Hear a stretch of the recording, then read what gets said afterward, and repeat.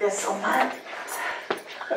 How do you talk about Jesus suffering and put it in half an hour? You know? At all?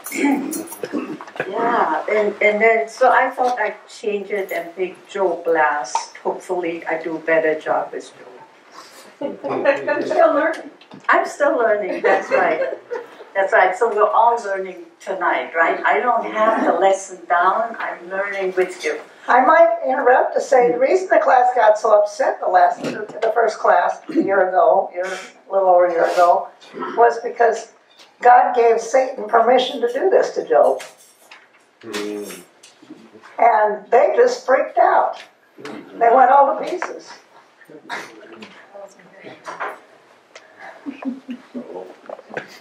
It was part of the test. Huh? It was part of the test. I know it was part of the test. so, But how did it happen? right, But did Job know? It? no. See, the teachers are already among us here. This is how we love this. Okay, so I have, Excuse me, Dorothea, you reminded me to start with prayer, but I didn't pray at first. Thank you, brother. Boy, are they are That's attached. great. Let's, let's. That's because we're afraid of that suffering topic. Thank you, Father. Thank you that you are the teacher among us.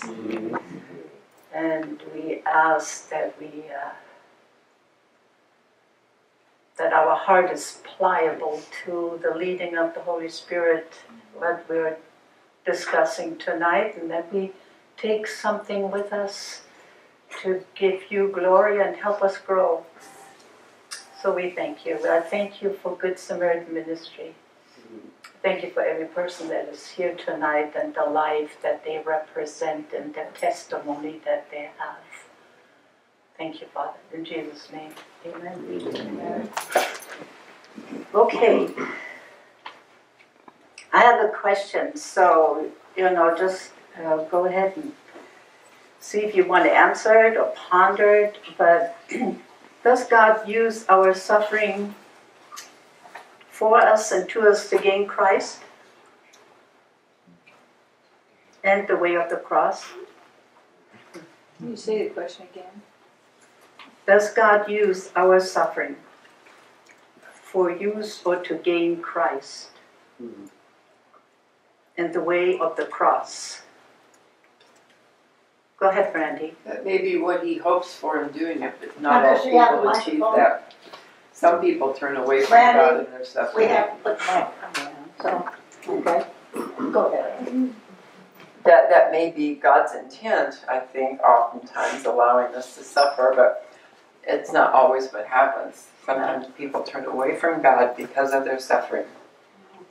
Very good point, yes. Yeah, okay. Anyone else? I, I tend to believe that, that, that in our suffering, um, we have an opportunity to turn to God at, at, at that point, and, and that God can and does many times. I know most certainly in my own life has has used uh, uh, mo- great moments of suffering uh, in my life to help me see Him. Yeah. And, and, and to understand His Yeah. grace and mercy, whereas before I really couldn't see it, really didn't understand. Yeah. Okay, Daniel, here you go.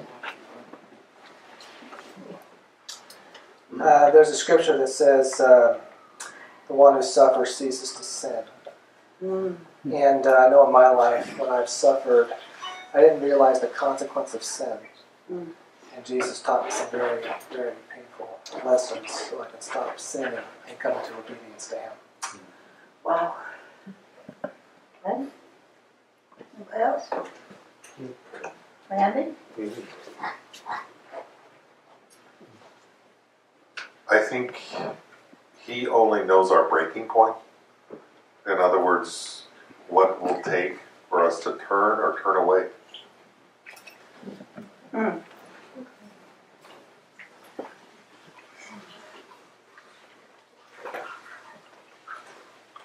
What's your name? Carol? Carol. I'm Dorothy's friend.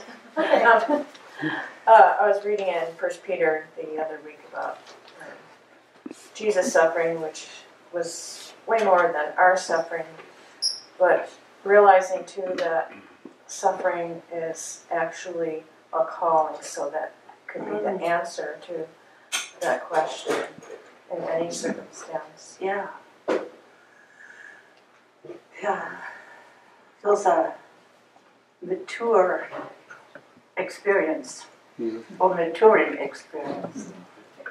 Yeah, there's one more.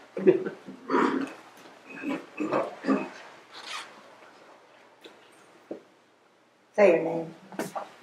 I'm John.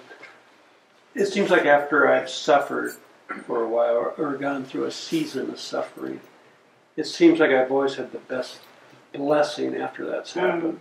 It seems like through the suffering I had to go through what I had to go through to get to more blessings, Yeah. at least in my life. Yeah, yeah, you, you, all of you have summarized the lesson. Yeah. John, give it to Beth. But I will still speak. I'm not sure if this is um, off topic to where you want to go, but I, the the one thing I maybe struggle with when talking about suffering is deciding about who is the author of suffering versus who is the completer of suff- suffering. So my question there is: Does God create the suffering so we'll learn a lesson, or does God turn beauty into ashes? Meaning, suffering is part of our our existence on earth, and He is the creator of the beauty. I'm not sure that I can totally wrap my mind around a God who decided that suffering was the best for us, but I certainly can understand a God who knows how to make suffering into something really beautiful. Okay, that leads me to the second question. Uh, do you believe that any kind of suffering can become a ministry for other people's salvation? Yeah.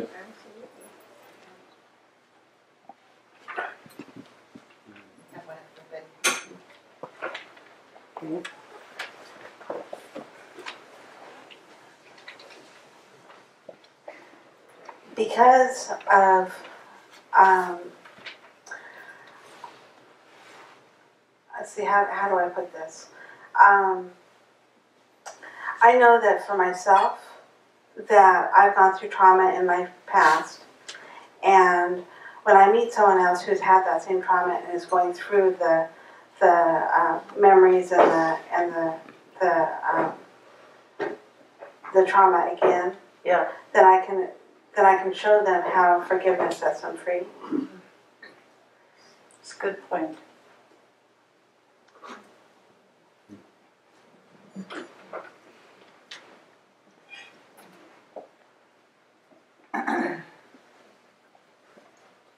I truly believe that God allows us to suffer to give us a ministry. I've seen that over and over again.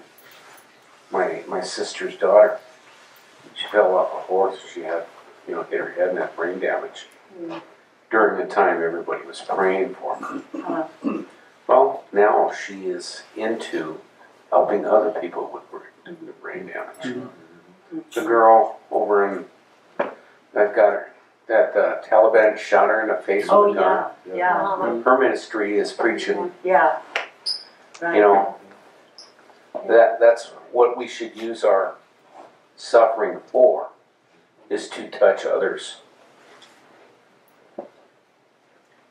I have a question that came to me, I'll answer it. and I don't, know, I'm sure you'll try. uh, can you truly believe? I think if you're in ministry, you have to truly believe, or you're going to get knocked off your pins. So the question is, can you truly believe without the testing of suffering? I got the answer for that. No. One of the things that I thought about, uh, which I haven't thought about for years, uh, there was a couple, and uh, they went to family therapy camps, and they were in lots of things in the ministry, and they had a little boy that had a heart that would not stop growing physically, and so he died after suffering a long time. And I watched this family suffer, and then the, the father uh, molested one of the daughters, and the suffering in the family went on, and the mother uh, eventually became homeless. And the family called me after many years and said, Mother is dying. She's in a, a, a like a hostel uh, on Lower Burnside where they take people off the streets and put them in a bed so they can die. Mm-hmm. And she wants to see you, and we want to see you. Now, I had not seen that family for many, many, many years. But the suffering knows the suffering. And those who suffer are a community all themselves, all, all alone. Mm-hmm. Yeah. Can you tell us the rest of the story? No, that's not. Okay. Well, thank you for, you know, interacting. That's, that's really great. And probably when we take time to think about it, we have some more answers or some more thoughts. And I was just thinking as you guys are also talking and listening, you know, it's a Good Samaritan ministry. It's a ministry of those that have suffered and now give forth life. Mm-hmm. You know, so. But I'm supposed to uh, share with you what you probably have read, but we'll talk about it again about Jesus suffering, okay? So I like us to, in your Bible, go to Matthew uh, chapter 3, and we start reading in verse 13.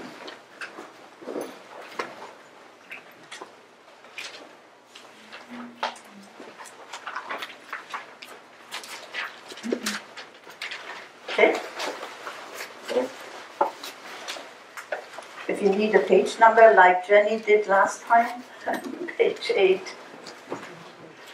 Okay, so it reads Then Jesus appeared. He, uh, in verse 13, did I say? Okay. He came from Galilee to Jordan to be baptized by John. John tried to dissuade him. It is I who need to baptize you, he said, and yet you come to me. But Jesus replied, Leave it like it is for, for this time being. It is fitting that we should in this way do all that is that righteousness demands. At this John gave in to him.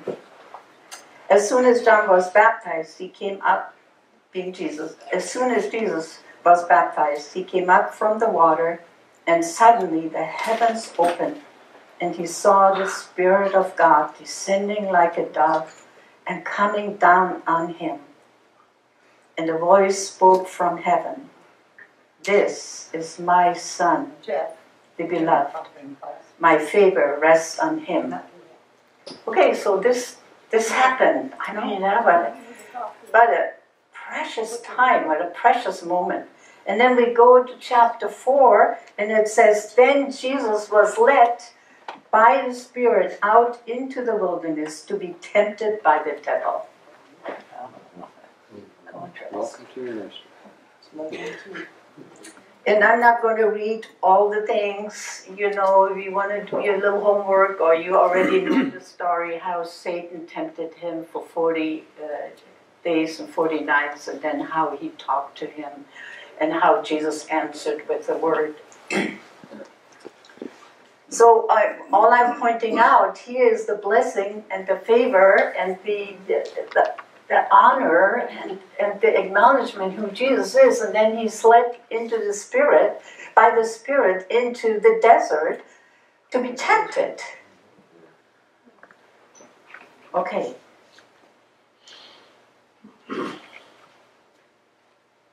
So I wanted to kind of point out a little bit because it says in verse 11, after the temptation, then it says the devil left him in some uh, uh, translation it says for a season. And the angels appeared and looked after him. So I, I thought, well, how did Satan then appear again to tempt him? How, how, how did he do it? You know, and I was, uh, there is a scripture, um, where he is in, uh, let me see here. He, he goes to his hometown. He is the Son of God, he goes to his hometown. So if you look, if you open up to Mark's chapter 6.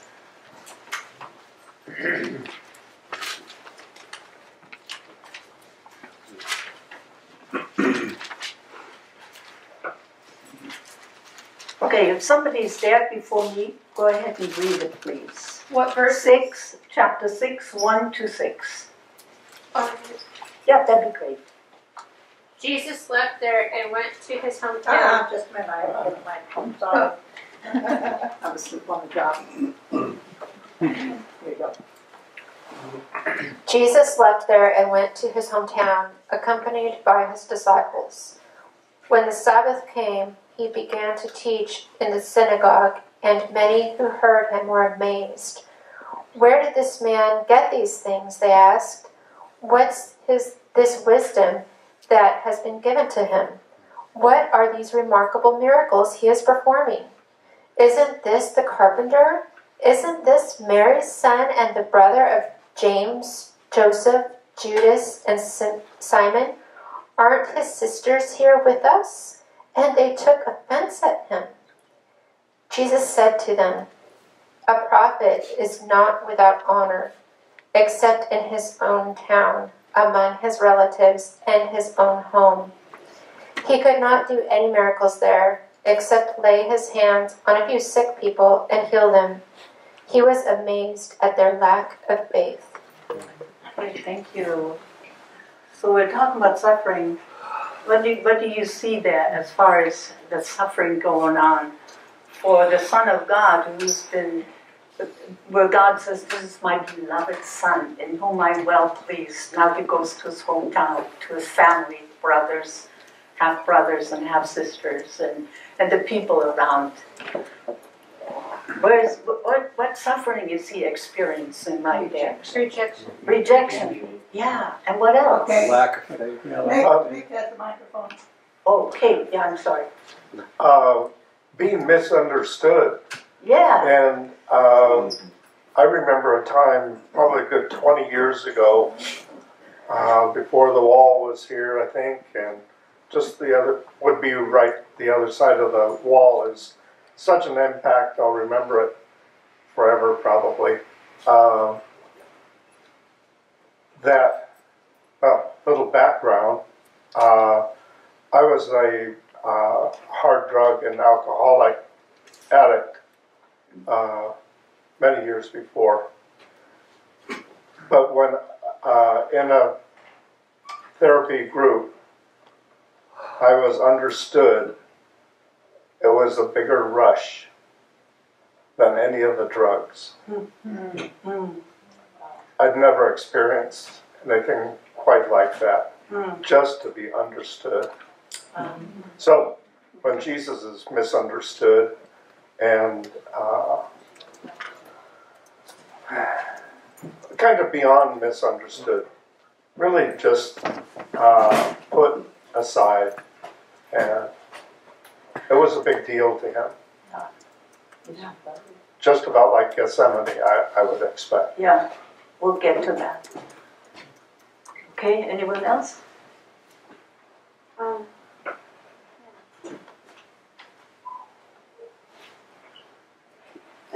Betty, after this, I'll, I'll take over and walk around. Okay. Okay.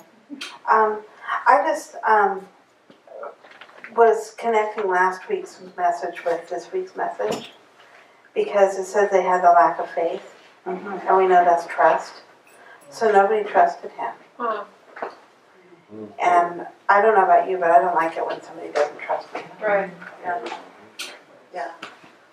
I have a question that kind of goes along with that. I was going to ask at the beginning, but now's a more appropriate time.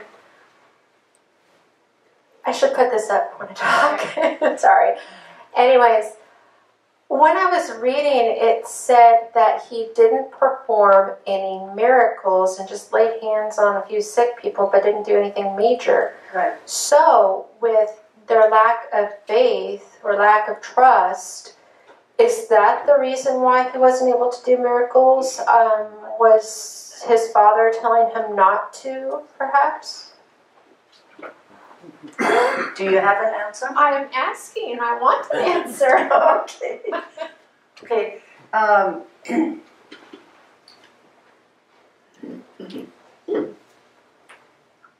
I don't know the depth of that. Uh, partly we, we are being taught about how faith is part of it. Dorothea? Dorothea? He taught, where two or three are gathered in my name, I'm there in the midst of them. That was, that was his father speaking. Jesus taught that. Yeah. Where two or three are gathered in my name, I am there in the midst of them. Okay. So he was alone. Right.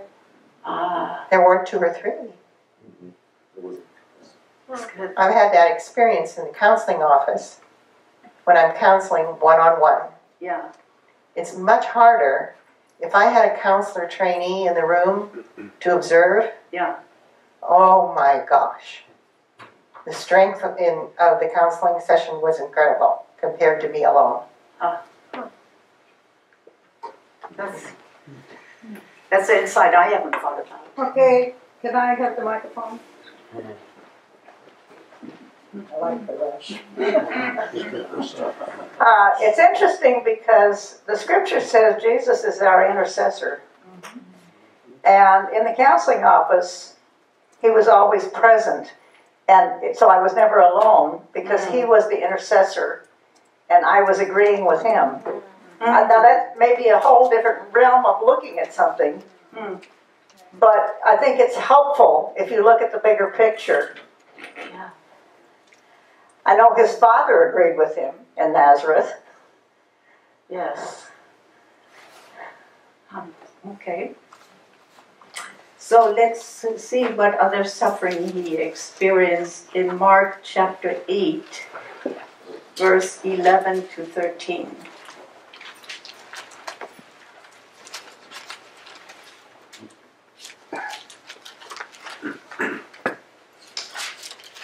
Okay, so it reads The Pharisees came up and started a discussion with him. They demanded of him a sign from heaven to test him. And with a sigh that came straight from the heart, he said, Why does this generation demand a sign? I tell you solemnly, no sign will be given to this generation. And leaving them again, he re embarked and he went away to the opposite shore.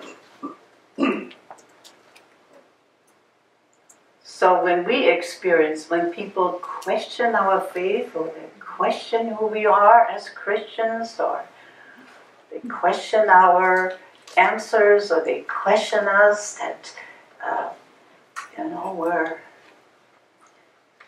we're not with it, understand and all this. There's a suffering in that, right? Because they don't.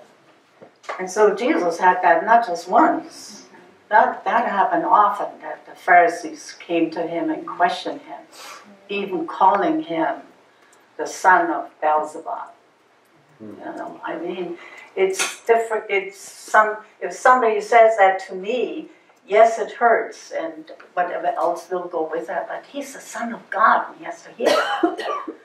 you know, he has to keep his mouth closed, just speak the truth. But he didn't defend himself. He just spoke the truth. Maybe there's the lesson right now.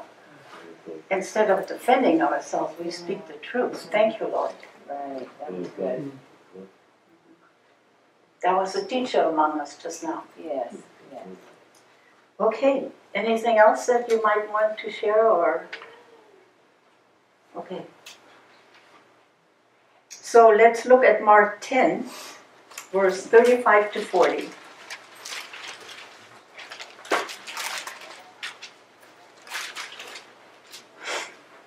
Okay, somebody would somebody read that 35 to 40? Okay, Laura. Here, James and John, the sons of Zebedee, approached him. Master, they said to him, We want you to do us a favor. And he said to them, What is it you want me to do for you? And they said to him, Allow us to sit, one at your right hand and the other at your left in your glory. You do not know what you are asking, Jesus said to them. Can you drink the cup that I must drink, or be baptized with the baptism with which I must be baptized? They replied, We can. Jesus said to them, The cup that I must drink, you shall drink. And with the baptism with which I must be baptized, you shall be baptized. But as for seats at my right hand or my left hand, these are not mine to grant. They belong to those to whom they have been allotted. I love it. I love it. So, um, years ago, uh, when I was a school bus driver and I hung my key up after I did the runs in the morning, uh, a friend of mine, because I lived in Woodland at the time, and, and she opened her up her home in Vancouver for me to just spend some time, as much as time I wanted until I had to go back to work. And I read that scripture and I said, just like these guys, we can, I can, I can drink that cup. Hmm. Stupid. Stupid, I did not know what I was doing, but I was, I, I don't know what I was doing, but I wanted to get closer to God and where I was at the time, that I just did something like a child would do before, they do it before they think, you know what I mean? Absolutely. Yeah. So, uh, have you come to the place where you have taken that cup? Yes.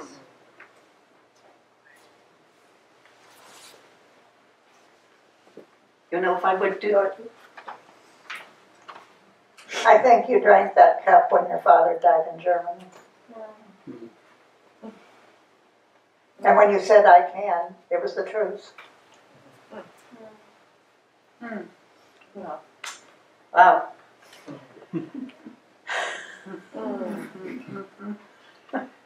You did it again, Betty. it is the truth. I, I just love that insight. Because that, that kind of leads me to, you know, Jesus, you talked about, the Nick, about uh, Jesus Gethsemane, you know, and, and I have come to my Gethsemane, where I had to come to a place where I had to say, not my will, but your will be done. Hmm. And you know, sometimes it's something dramatic, and sometimes it's just one day at a time.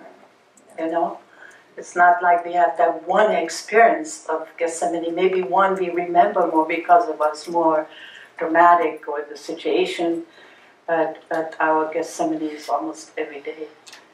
And you know, when you read about that, the suffering, we're talking about suffering, that was going on at that time. And uh, so uh, let's read it and then I'll talk a little bit about my story, okay? So we, we'll find that in the, the Gethsemane, Mark 14. 14, 32 to 42.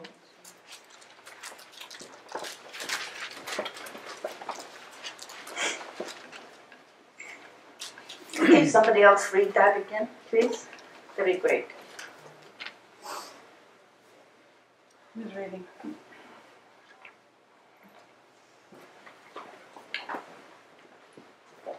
Thank you, Brandy. My buddy from Vancouver. But as for that 32 into 42, you said? Yes. Oh, 22? No. No, 32 to 42. 32. Oh, okay. Yeah. Okay.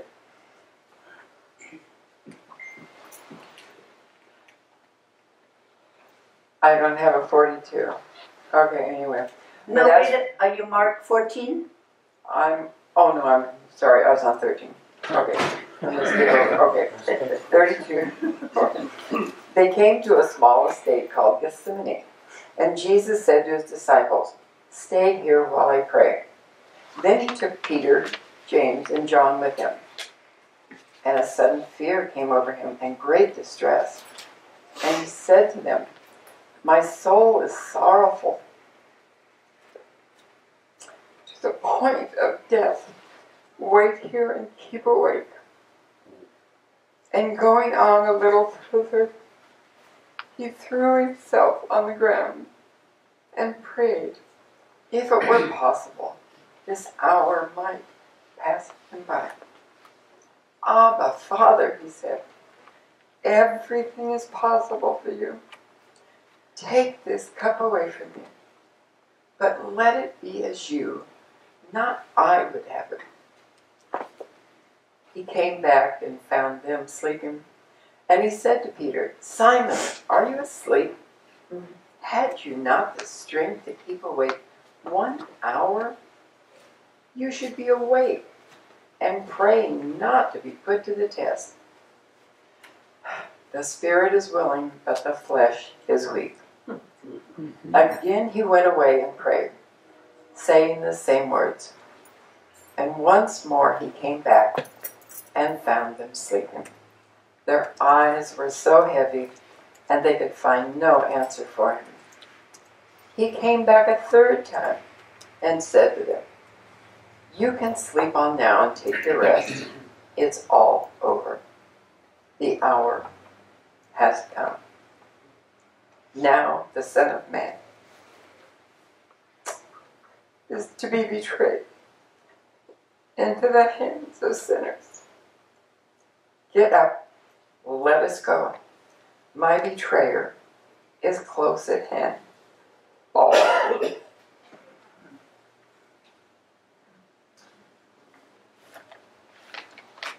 So I, as you're reading, uh, there is that cup again. That cup that um, the disciples said we can, we can. Here's that cup again.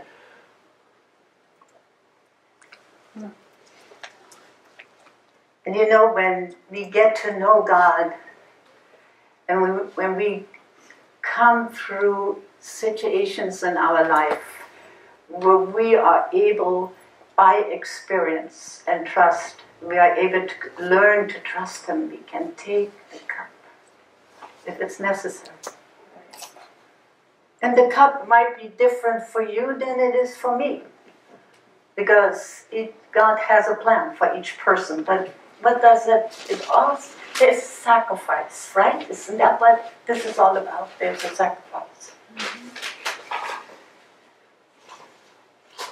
So, I just want to share a little bit about myself because Jenny, when we had training, she said, Be sure you tell some of your story. I remember. So I don't want to make it lengthy. Some of you have heard about. But when I grew up in a household where I did, when I did something wrong, it always was punishment. So when I became a Christian, and I thought, oh, God is love. He understands me. No more suffering. then when I suffered, I didn't like it. I struggled against it. I blamed God, I blamed other people, I blamed myself, I blamed my situation. I was not a complainer, but in my heart I did.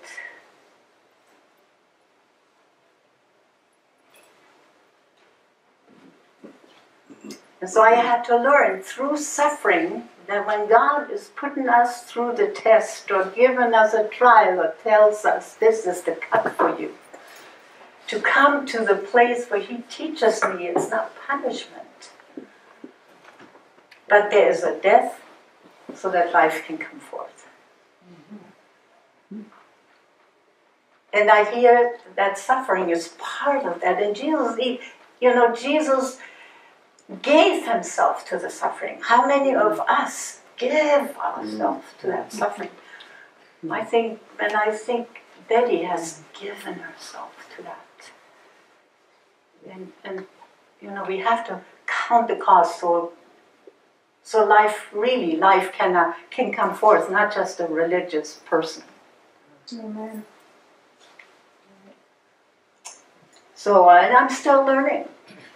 I I grew up and love was not part of the equation. Like Betty said, my dad died when I was four, and my mom was not the best mom. So I grew up uh, struggling what it means to love and let anybody come in there. And this really good Samaritan minister with Betty just.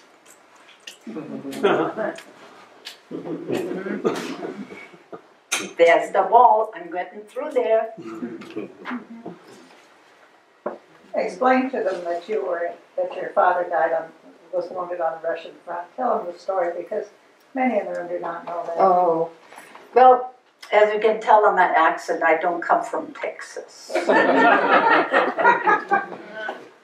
okay, so I, I was born in Germany, in which was called East Prussia, and uh, um, you know when the the Russians came in, crazy war, when they when they came in, and then my my dad was was my family kind of believed in the Nazi idea. I don't know how much, how deep. It never was talked about. Mm-hmm. If they would have won, maybe they would have talked about, but it turned out different. So, but kids have ears. Mm-hmm. So, my dad was sent to the Russian front, and that's where he was wounded. uh, I guess in his stomach area. Then they brought him back to the city where, where, where we lived and, and he died of those wounds. so, uh, what does a little four year old girl do with that, you know? And every time I wanted to talk to my mom about it and have her explain to me a little bit more about it, she started crying because she loved that man deeply. So there's suffering. So when I came to Betty for, for counseling, she wanted me to talk about my dad. It actually started, I'm going to tell you something strange. It actually started, I was driving the school bus and the Holy Spirit said to me, I want you to talk to your dad. And I said, No, I'm not talking to my dad, he's dead. and I'm not talking to the dead. That's what the Bible says.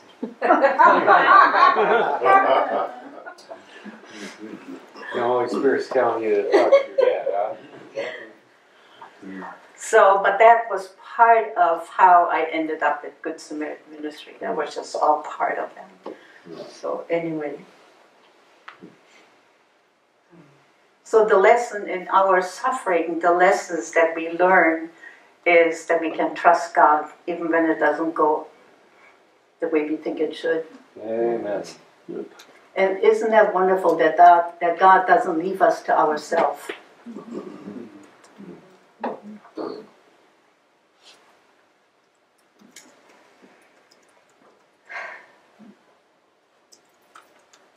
So Jesus said in John 16 33, I have told you all this. Just a minute, John 16? Yes, John 16 33.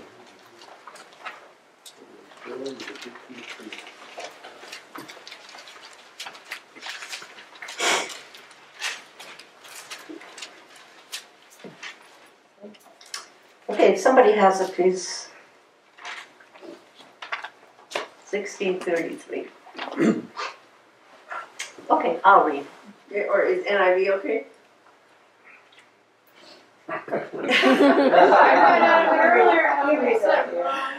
She wants me to read, so thank you. Okay, I have told you all this so that you may find peace in me. In the world you will have trouble, but be brave.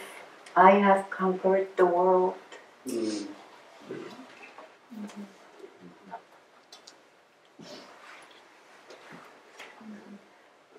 So in Hebrews, he, and, uh, coming to a close about Jesus because I still have a couple other people to talk about.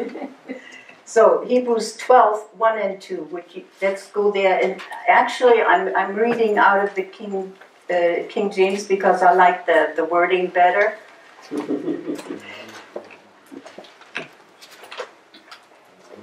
So if you're there, I'll just read my version and you can read out of yours.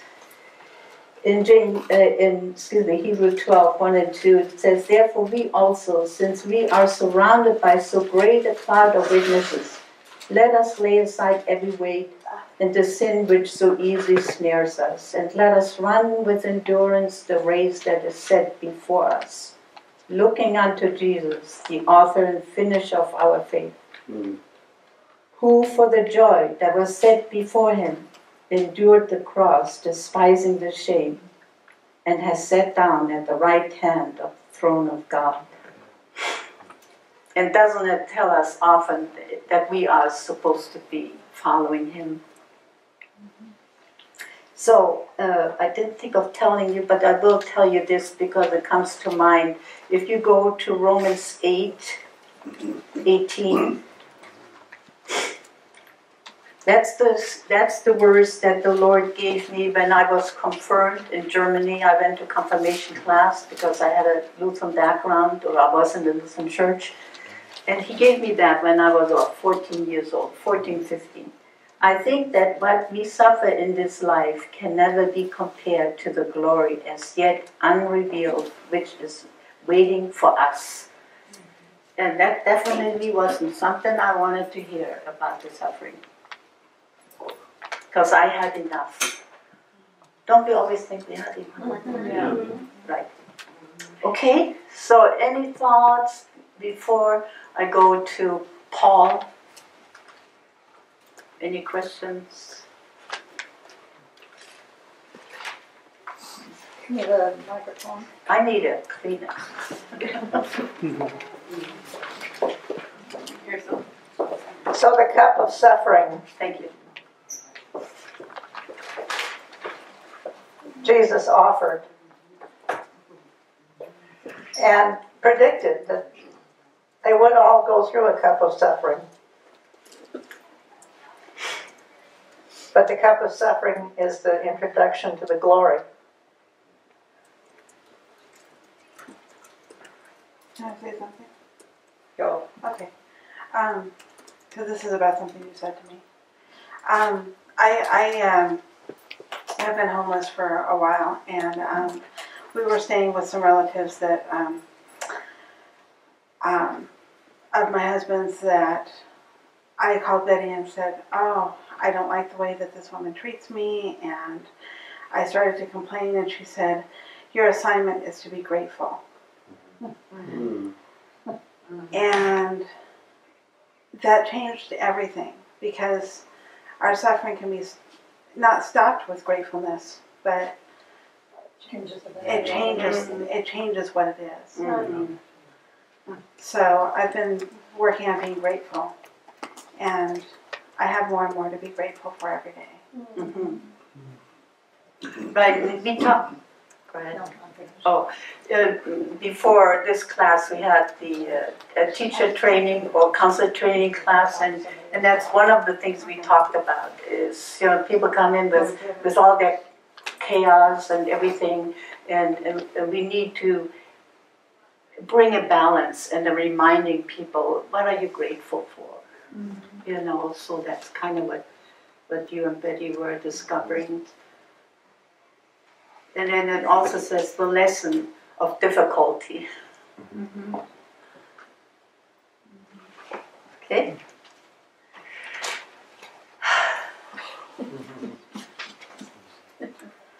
I feel good. Thank you for making me feel good. Welcome. I feel different than last year. I know. You've been delivered. So, and Paul, we go to Paul now. And so, as we know, uh, Paul also suffered much, and we talked about when we were in our Bible training with Betty, or was it last about shattering. You know, our life gets shattered. And I looked up the dic- uh, uh, definition because I'm still learning English after all these years. So the definition is fragment, shred, to break at once into pieces. What? To break at once into pieces. It's the definition of what word? Fragment. Shattered. Shattered. Shattered. Yes, Shattered? yes. Shattered. Shattered. Thank you. Say we hear it one more time? Yeah. Shattered. That's what I don't hear this man. Shattered. So remember when we talked about how uh, God said that this is my beloved son? So here's Paul on the road to Damascus, and the whole, and God, the Son, is is uh, stopping him and talking to him. And so this was a very great uh, experience. It was a profound experience. And then you know what happened after that, right after that, right? What happened to him? He was blind. He went blind. He went blind. Not just for an hour, but how long? Three days. Three days, yes. But I wanted to share a little bit about, since we're talking about Paul and what he went through, and we talked, and we, we said that our suffering will bring, like Jeff definitely got it when he said that we, our suffering does bring healing to other people and salvation, and salvation. So in Acts 9, let's go in Acts a little bit. 9, verse 10 to uh, 17.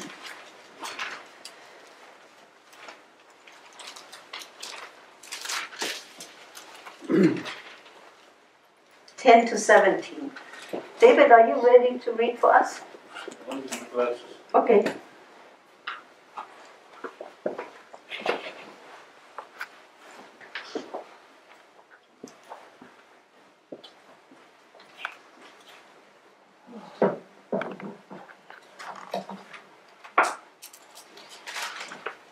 Acts ten, Nine, nine, ten to seventeen. A disciple called Ananias, who lived in Damascus, had a vision in which he heard the Lord say to him, Ananias. When he replied, Here I am, Lord, the Lord said, You must go to Straight Street and ask at the house of Judas for someone called Saul, who comes from Tarsus. At this moment he is praying, having had a vision of a man called Ananias coming in laying hands on him to give him back his sight. When he heard that, Ananias said, Lord, several people have told me about this man and all the harm he has been doing to your saints in Jerusalem. He has only come here because he holds a warrant from the chief priests to arrest everybody who invokes your name. The Lord replied, You must go all the same because this man is my chosen instrument to bring my name before pagans and pagan kings and before the people of Israel. I myself will show him how much he must suffer for my name. Okay, thank you. So he has that profound experience, and then, then God says, you know, he's, he's going to suffer much for my name because of my name. So let's go to Acts 16, 16 to 34, please. It just shares a little bit about his, you know, what he had to go through.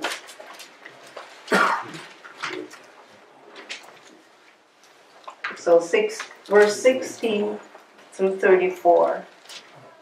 Chapter 16. Yeah, and, and, and, and uh, you know, we talked about misunderstood and not trusting and suffering, and I think that's all combined partly in this story, okay? Somebody? Okay, thanks.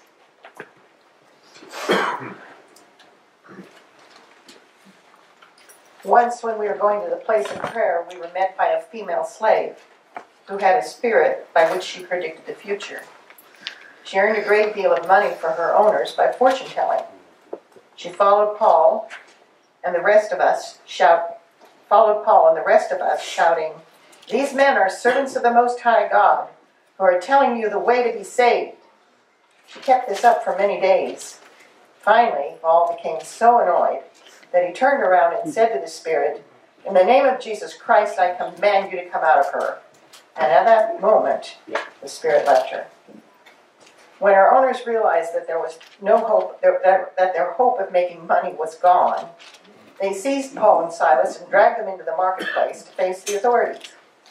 They brought them before the magistrates and said, These men are Jews and are throwing our city into an uproar by advocating customs unlawful for us Romans to accept or practice. The crowd joined in the attack against Paul and Silas, and the magistrates ordered them to be stripped and beaten with rods. After they had been severely flogged, they were thrown into prison, and the jailer was commanded to guard them carefully. When he received these orders, he put them in the inner cell and fastened their feet in the stocks. About midnight, Paul and Silas were praying and singing hymns to God, and the other prisoners were listening to them. Suddenly, there was such a violent earthquake that the foundations of the prison were shaken. At once, all the prison doors flew open, and everyone's chains came loose. The jailer woke up, and when he saw the prison doors open, he drew his sword and was about to kill himself because he thought the prisoners had escaped. But Paul shouted, Don't harm yourself! We're all here. The jailer called for lights and rushed in and fell trembling before Paul and Silas. He then brought them out and asked, Sirs, what must I do to be saved? They replied, Believe in the Lord Jesus, and you will be saved, you and your household. Then they spoke the word of the Lord to him and to all the others in the house. At that hour of the night, the jailer took them and washed their wounds then immediately he and all his household were baptized. You want me to go further? Up to 34, did you? That's 34. Okay, thank you. So if, if uh, you know, I mean, you get the story, but I just want to say if Paul and Silas would have complained about, well, we only said the truth, what are you guys doing to us? And so they're in prison and then they could have complained to the jailer, you know, we don't deserve to be here. But what do we read? What did they do? What, what did they do? They, They sang, They praised God. yeah, they sang songs. Have we come to that place where we sing songs? Hmm. I hope we get there. You know, I think it's interesting I, I, I, that all of a sudden this jailer is saying, Sirs, what must I do to be saved? Now, I, did he know they were Christians? Did he know? What did, what did the jailer know? All of a sudden, he's wanting to be saved. I think it's kind of interesting. It's like we don't know. We don't know much about the jailer. We don't know, but all of a sudden, he must be so struck by this whole experience he's having. Uh, does anybody know about that? I think it's kind of. Makes you wonder what the. Um, what, what does he know about saved? I mean, he had to know who Jesus was or something. I don't know. Maybe, maybe the words were in their songs. Yeah, maybe the Holy Oh. Spirit was getting Very inside. good. Yeah. Okay. Yeah. Yeah, that's good.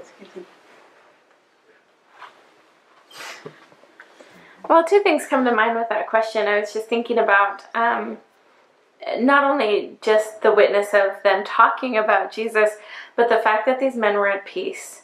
And if you imagine what a jailer hears, especially maybe in Rome, all day long from all of the the people in the cells are moaning and crying out, and here these men knew peace. Maybe it was the peace that he was looking for in his own life.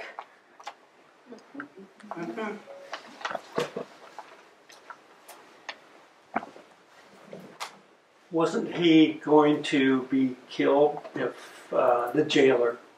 Uh, if Yes. So Yes. I think that probably had some influence with that too.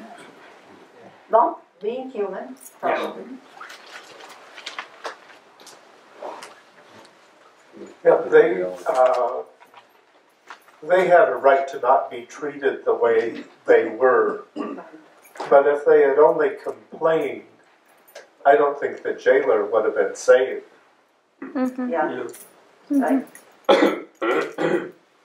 so it's so, but the lesson that I also get out of it is not uh, it's not that I confess to be a Christian, but I act as a Christian. They acted Mm-hmm. as Christians.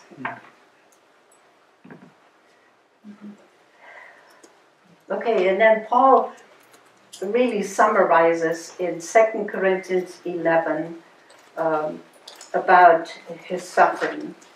Um, so 11, 2 Corinthians 11.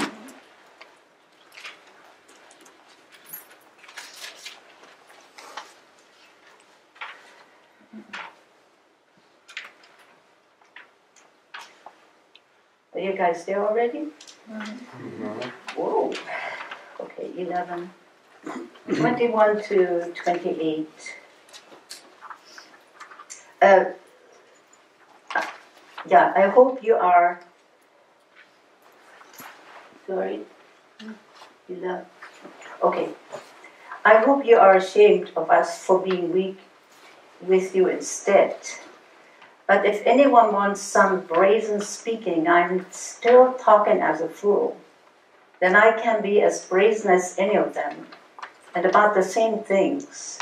Hebrews, are they? So am I. Israelites, so am I. Descendants of Abraham, so am I. The servants of Christ, I must be mad to say this, but I am, and more than they more because I have worked harder. I've been sent to prison more often. I've been whipped so many times more, often almost to death. Five times I had 39 lashes from the Jews. Three times I have been beaten with sticks. Once I was stoned. Three times I've been shipwrecked. And once adrift in the open sea for a night and a day, constantly traveling.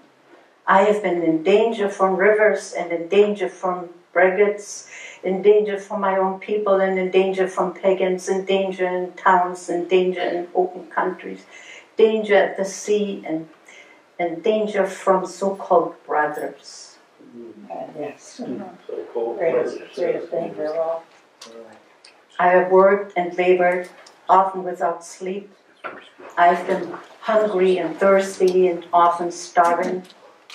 I've been in the cold without clothes.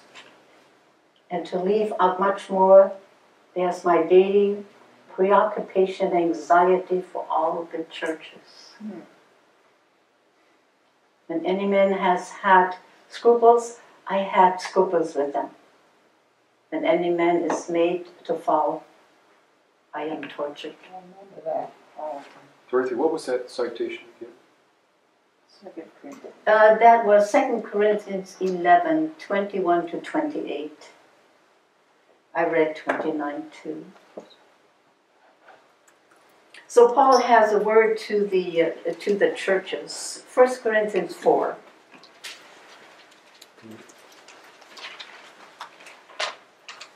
And that's the churches today, right? Four. And I, I marked down verse 15b, so that will be the second part of B. It was I who begot you in Christ Jesus by preaching the good news. That is why I beg you to copy me. And why I have sent you Timothy, my dear faithful son in the Lord. So he's telling them, copy me after all this.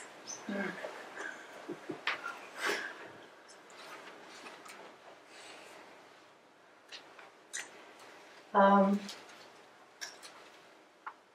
let's read uh, Acts 14 21 and 22. Probably very familiar to all of you. Acts 14.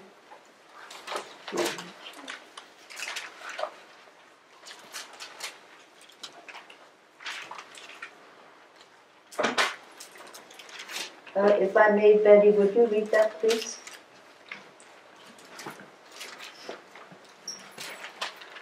14, 21, and 22. Having preached the good news in that town and made a considerable number of disciples, they went back through Lystra and Iconium to Antioch. Is that right? Mhm. Okay. They put fresh heart into the disciples, encouraging them to persevere in the faith.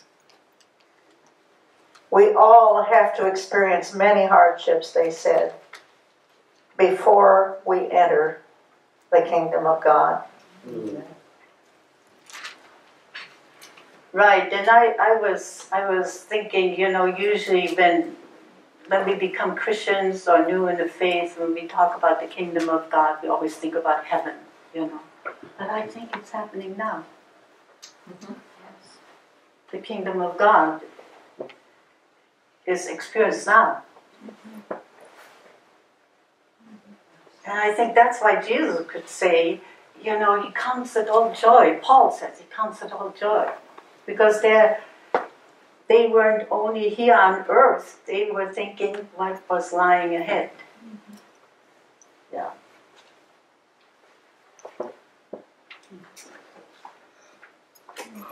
Uh, Jeremy from Burundi said, uh, you know, I, we, we had a Bible study on Tuesday morning, and, and I, I remember before I thought Christ was the one that I wanted to follow, I would go down to the library or I would go into bookstores and go into all the self help books, help books, you know. Oh my goodness, there were so many. and Jeremy, while we were talking about Jerry, uh, Jeremy from Burundi said, we have to leave room for God. Amen. You know, we get all the information from self-help books. We might be getting some information, but do we get life, you know? That's true for counseling theories too. Explain, Brandy. Amen. I know what you I do too. Well, well, since Sigmund Freud took over for the preachers' jobs that they weren't doing um, many decades ago, and, Okay. and brought in psychology, and followed by Jung and a few others. You know, one counseling theory after another's popped up and surfaced with all kinds of stuff, and you know, cognitive, behavioral, all kinds of different psychobabble. But you know, no matter what, it, that can be confusing too. You look on the internet, you know, how to deal with anger management. There's a dozen theories or more how to manage it. And the, it's so simple in the Bible. Almost everything that you find in psychology, if it's worth a salt, you know, is in the Bible and stated much simpler And shorter. and shorter. Amen. You just have to discern it. You have to take the time. You can't have somebody else do it for you. So I love that. Mm-hmm. That's good. Okay. So I have this book. It's the Triumph Church, which was written by different authors. There's three different authors, and they're talking about the persecuted church. They're talking about the persecution, and they're calling it the book, The Triumph Church. Hmm. Hmm. So I thought I'll just read this to remind us weaning Christians off the breast of self reliance. Hmm. So, this is talking about uh, Paul. So, he says, since he believed that suffering was part of faithful Christian living, he probed into why this might be so. His own experience of suffering drove him deep into the ways of God's love with his children.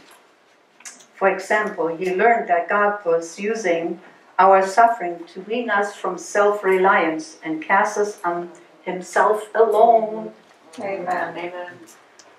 After suffering in Asia, he says, We do not want you to be unaware, brethren, of our affliction which come to us in Asia, that we were burdened excessively beyond our strength, so that we despised even of life. indeed we have the sentence of death within ourselves in order that we should not trust in ourselves but in God who raises the dead. 2 Corinthians 1 8 and 9.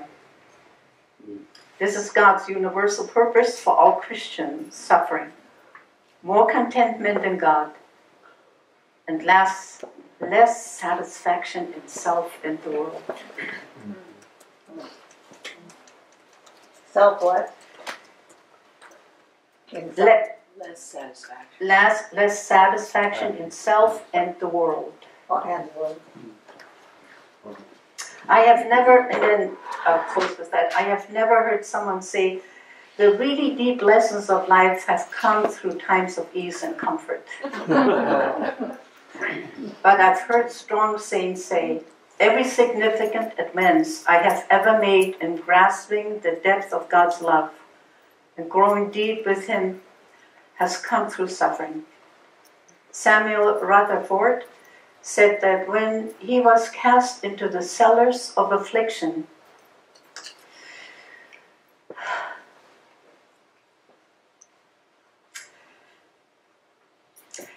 he remembered that the king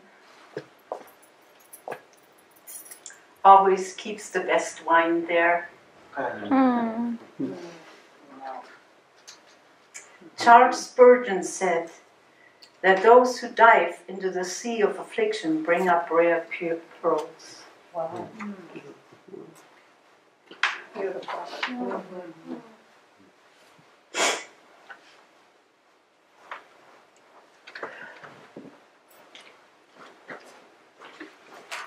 Okay.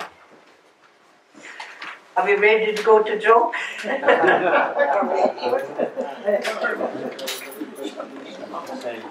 Job. Yeah, now. So, ooh, God, Job. Fir- first, first time I read Job, I couldn't understand a word. There's just too much talking. And then I was with was when I first started coming to Good Samaritan Ministry in 1993. Betty was talk, uh, talking about Job, and oh golly me, there I was still so shattered and broken. And Betty says to me, "Come over here and help me read." And that was just part of the healing, you see? Okay. So, Job. There's much we can talk about Job, but I want to go only one, two, three.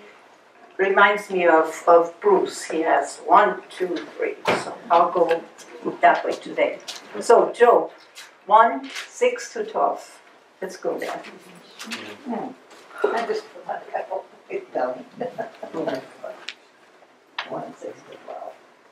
Right in the beginning. Job's not easy to find. I know.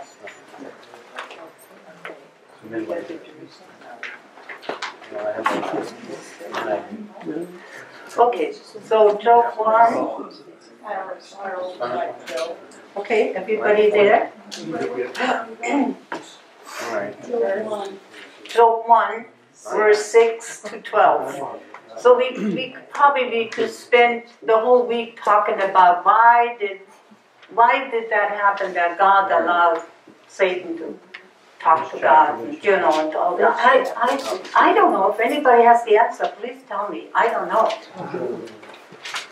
There's such a mystery with God at times, isn't there? He had the confidence, Huh? he had the confidence in, in Job, didn't he? Job had God had the confidence that Job would go, would get through it. Yes. I like that. Okay. So, Job 1 6 to 12. Somebody read that, please? Okay, thank you. Now there was a day when the sons of God came to present themselves before the Lord, and Satan came also among them. And the Lord said unto Satan, Whence comest thou? Then Satan answered the Lord and said, From going to and fro in the earth, and from walking up and down in it. And the Lord said unto Satan, Hast thou considered my servant Job, that there is none like him in the earth, a perfect and an upright man, one that fears God and eschews evil? Then the then Satan answered the Lord and said, Doth God doth Job fear God for nothing? Hast thou made a hedge about him and about his house and about all that he has on every side? Thou hast blessed the work of his hands, and his substance is increased in the land. But put forth thine hand now, and touch all that he has, and he will curse thee to thy face. Okay, thank you. Okay, so and then then it goes into the story. If you were here last year, uh, and if you have read it, um, you know before or been in a Bible study, you know all the different things that happen. You know the children, property, and his health. So, if you go to verse twenty to twenty-one, what is Job's response to Same all chapter. of this? Same chapter. Same same chapter, yeah. Somebody read that, please. Father, Then falling to the ground, he worshipped and said, Naked I came from my mother's womb, naked I shall return. Yahweh God gave, Yahweh has taken back. Blessed be the name of Yahweh.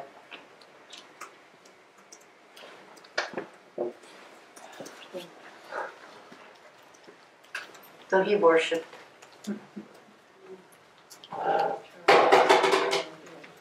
So what about his wife? Job chapter 2, verse 10.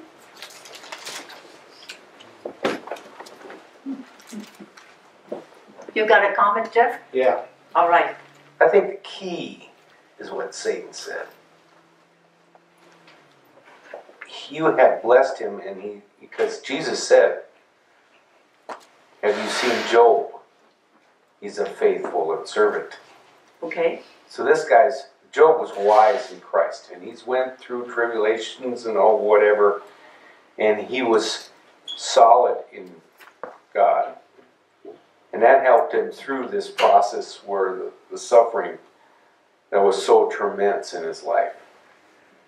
That's a key right there because what Satan said and what God said about Job. Okay, well, you just shared my lesson. I'm sorry. God, I'll read right now. Okay, so um, in chapter 2, verse 10, how does his wife respond to what happened compared to Job? What does it say? Okay, I'll read. Then his wife said to him, Do you not now, excuse me, do you now still mean to persist in your blamelessness? Curse God and die. That is how foolish women talk, Job replied. If we take happiness from God's hand, must we not take sorrow too? In all of this misfortune, Job uttered no sinful word. Then came his friends. Okay. Oh. And let's see, Job 19. chapter 19. Yes. That goes to your point, Jeff. Verse 25 to 27.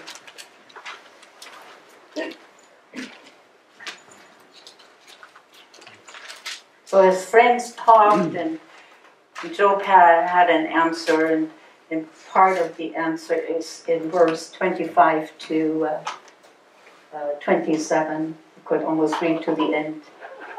Okay? Okay, who would love to read? Would like to read? Karen, you haven't read. My Karen. Where are we? 20. Yes. Yeah, chapter 19. 1925. This I know. Oh. This I know that my avenger lives, and he, the last, will take his stand on earth. After my awaking, he will set me close to him, and from my flesh I shall look on God. He whom I shall see will take my part. These eyes will gaze on him and find him not aloof. My heart within me sinks. Okay. So he's making like like Jeff said, and like uh, Paul, and he made uh, a confession. He he gave testimony. He gave testimony to God. Do we give testimony?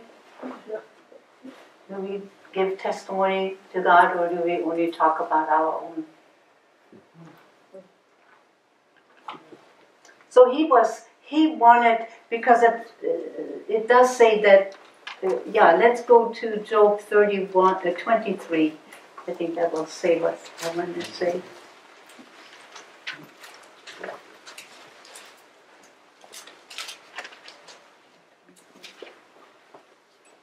Okay, uh, 1 to, to 7. 1, 1 to 7? 23 chapter 23, 1 to 7. My lament is still rebellious. That heavy hand of his drags groan from me. If only I knew how to reach him, or how to travel to his dwelling. I should set out my case to him. My mouth would not want for arguments. Mm-hmm then I could learn his defense and every word, and every word of it. Take a note of everything he said to me. Would he use all his strength in this debate with me? No, he would have to give me a hearing. He, w- he would see, he would see he was contending with an honest man, and I should surely win my case. Mm. You can only speak that way to God when you have confidence and have a relationship.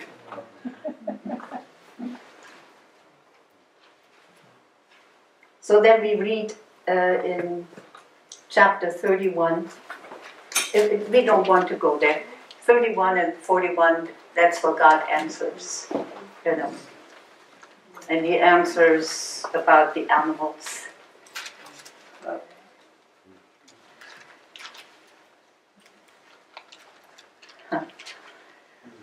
Okay, so then 42. Okay. Job 42.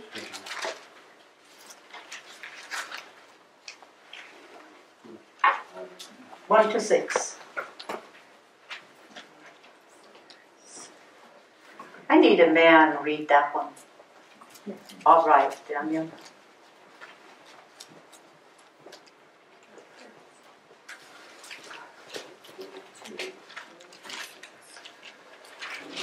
Then Job answered the Lord and said, I know that you can do all things, and that no purpose of yours can be thwarted. Who is this that hides counsel without knowledge? Therefore I have uttered what I did not understand, things too wonderful for me which I did not know. Hear and I will speak. I will question you and you make it known to me. I had heard of you by the hearing of the ear, but now my eyes sees you. Therefore I despise myself and repent mm. in dust and ashes. Mm-hmm.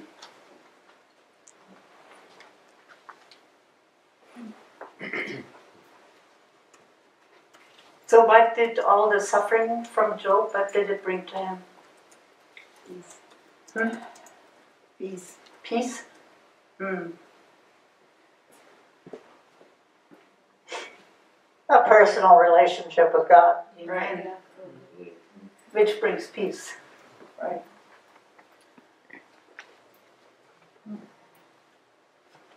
Truth. And truth. Humble, and confidence. Humble Job also. Yes. Yeah. Now we read in Job, he was rewarded. You know, right on earth, you know, he was rewarded. You know. That's not always the case, is it? you know, when we read Hebrews chapter 11, there's a lot of people that look for the things to come, as we do. We look for our for His appearing. So I finish with Job 42, just the first part, verse 16. What was all this about?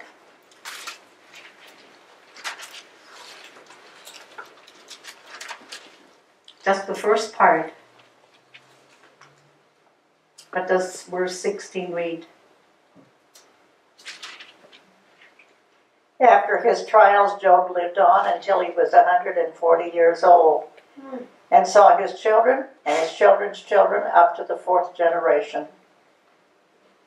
Mm-hmm.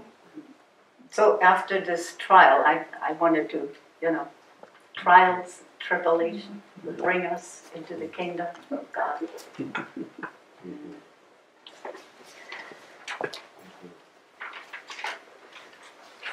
Okay, um, I wonder if I've been singing that song, What a Friend We Have in Jesus. Do you remember that song? Yeah.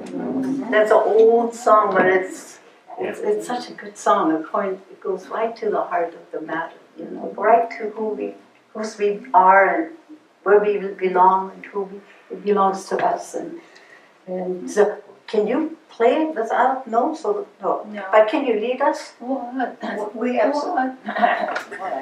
We can cooperate.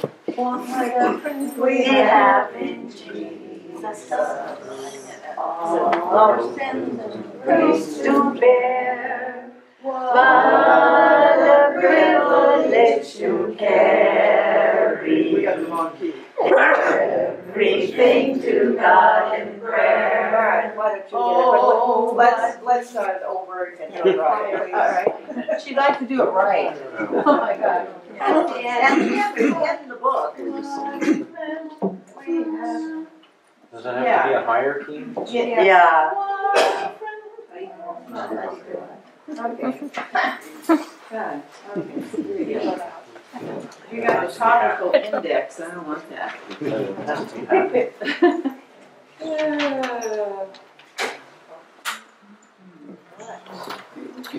What? Huh. Okay, three thirty-one, here we go.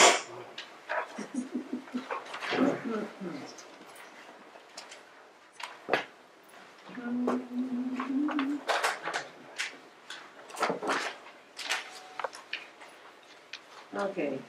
What a friend we have in Jesus, all our sins and griefs to bear. What a privilege to carry everything to God in prayer.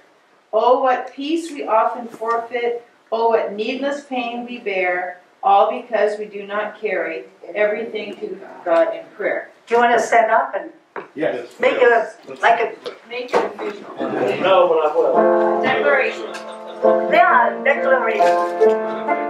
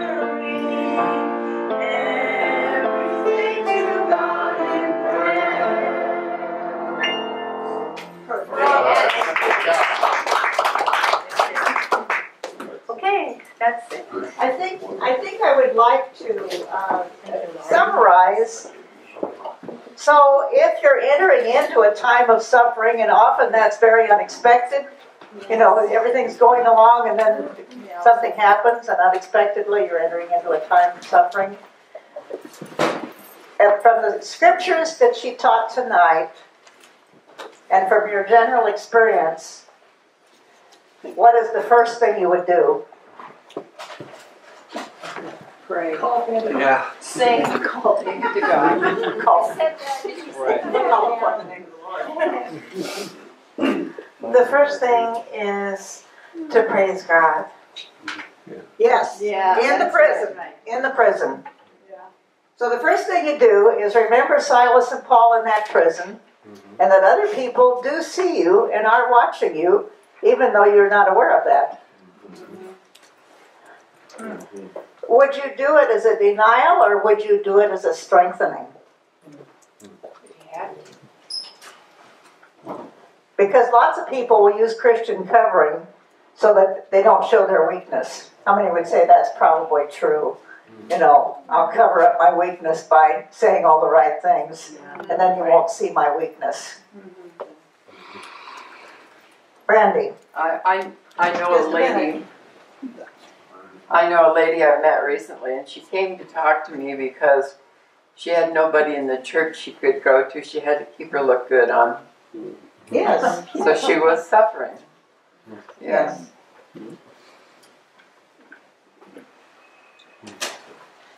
I think I think we don't realize where does our strength come from. Because usually suffering begins when we're in a low ebb of strength anyway. You know, it'll, it'll sneak in there. Uh, when we, when we are weak, he is strong. Yes. And so where does this come from? And where where will we find that strength? And and even even our strength comes from the Lord who made heaven and earth. Right. But you could see uh, in, in your own suffering and in your own life struggle, it took a lifetime to come to that conclusion. Yeah. And and sometimes it's a lifetime. Yes. Took a long time to give thanks for it too. Right. I think we have to teach children about suffering. I'm, I'm a firm believer that we need to prepare children and give them training in how to suffer and manage.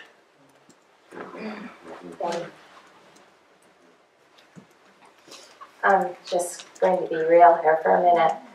Um, in the, the season of, of the greatest shattering, I cried out for a very long time.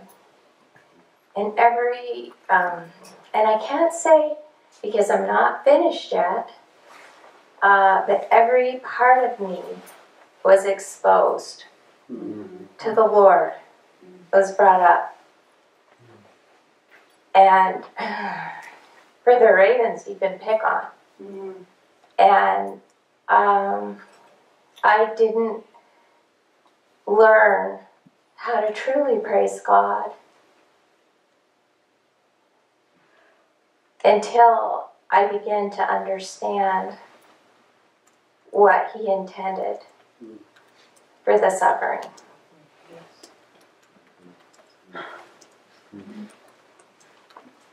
And for that reason, this class is vital. You know, you come in, it doesn't look like anybody is obviously in acute suffering tonight, except perhaps Dorothea. not, not, be, you you know what I'm saying, because you were exposing some of your suffering. Your suffering was being shown. Hmm. Hmm. Like yours. Right.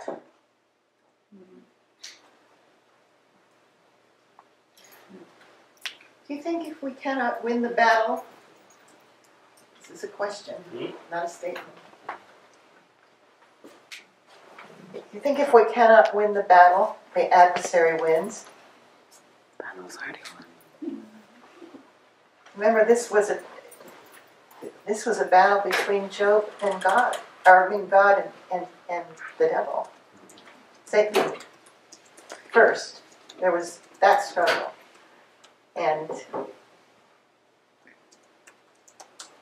we must win with God so that the adversary is defeated. Behind you, Betty. I, I, I firmly believe that most Christians do not have the depth of the comprehension that Jesus is the intercessor for you. Mm-hmm. We're running here and running there and trying to get somebody to pray for us. Yeah. Yeah. But there's not a a relationship with Jesus is not where the power is coming from in most Christian people. Because they take it for granted, you know, we're among each other. We're obviously, you know, this is a prayer warrior, so let's call this prayer warrior, blah blah blah. But but it's the true power is calling upon the name of the Lord with all your might. With all your might. Is it there? Give your name when you're done. I'm Madeline. Um, I think one of the passages we read um, says like he told them a bunch of stuff about suffering, but have hope because Jesus overcame the world. And I think like us and our human self can't always win, but I think remembering that Jesus already won no matter how hard the situation, even if it doesn't feel like we're winning, we have strength that's not our own. Yes. Mm-hmm. Take.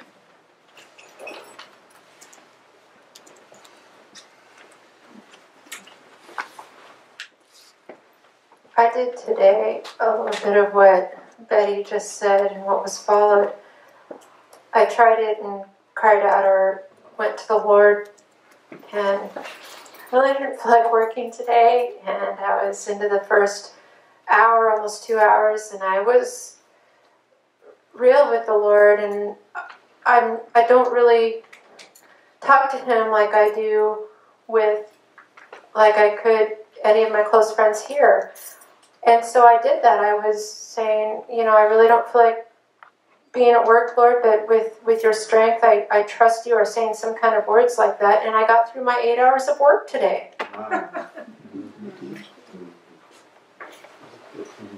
Carol.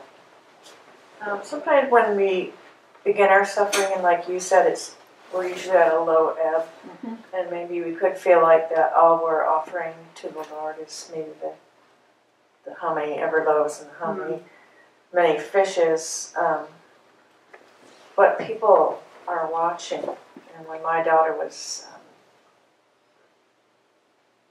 dying of cancer two years ago, um, that could have looked, looked, looked like just do the next thing, empty the cat box, make sure she's comfortable, and, and over and over again. And so, so I think um, it grows. Yes.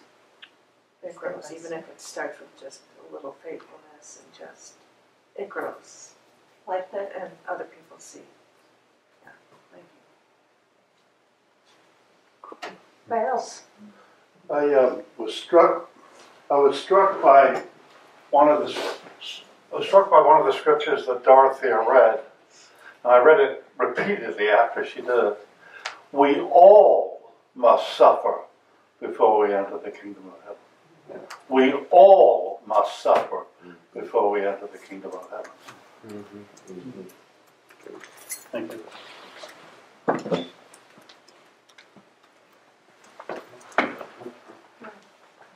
I think to come back to Bethany's question, um, God's paradise, God's perfect being, you know, created us and um, He gave us uh, a choice of good or evil.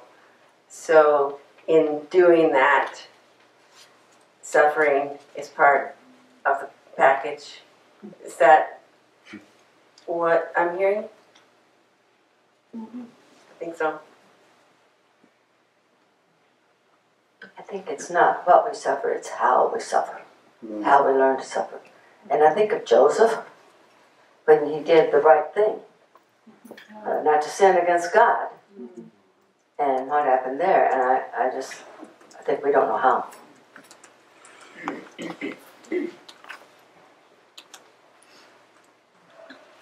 I was thinking when I took care of Jerry, it was so hard, and for four months I had almost zero sleep.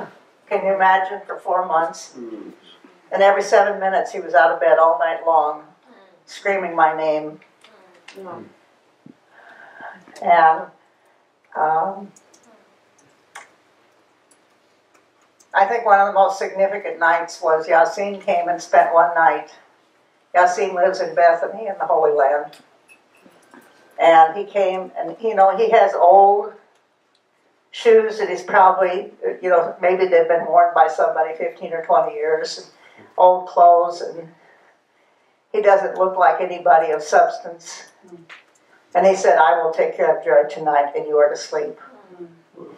And he took a chair and he moved it into Jerry's room. Wow. Who was this again? Yasin. So I think in suffering, we tend to not want anybody to know it, and we tend to maybe not not um, recognize that at given moments the right people will come. John and the women went to the cross with Jesus, for example. At the right moments, at those moments that are supposed to happen. And if we always push those moments away and think we, you know, we don't want anybody to see us or whatever, that we're destroying the very things that God has sent to make us, to help us to endure. Mm-hmm. I know before he died, I, I was gone about three or four hours, and Jamie and Gail Dahl are both RNs, and they were taking care of him. And they were a wreck by the time I came home. They said, I don't know how you do this. We can't. We can't do mm-hmm. this. It can't be done. But it can be done. Suffering can be done. And we never know at what moment we're going to be called into that. Mm-hmm. If you take nothing else away tonight, Jesus is your intercessor. Yes. And I don't think very many people carry that around with them.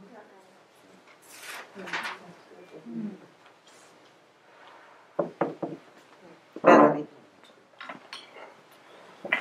Yeah, um, thanks, Brenda. I, I think um, it's not the suffering that gives us necessarily a call on our life, and it's not the suffering that makes us special. Um, because to be human is to suffer. I mean, think of one person in your life that you couldn't say has ever suffered. I can't think of one, even those who grew up in wonderful homes. We suffer. That is, that is the fall. That is man's choice. Um, I mean, how it bears out in our lives. Um, not our choice to suffer, but that that yes, free will is involved in the fact that we suffer. So it's not the suffering itself that is where the glory lies. It's it's in making, it's in the Holy Spirit and His work in us through the suffering. Because there, you've heard the adage, "Hurt people hurt people," and that's one path. Is that those who suffer make others suffer, and the path of Christ is those who suffer show God's glory. Mm. And so we all are to suffer, but it's in um, vision gives pain a purpose, and the vision of of of who are, we are becoming and who we're becoming into gives all suffering a purpose. Whereas those who suffer without a purpose tend to not transform their pain into anything else.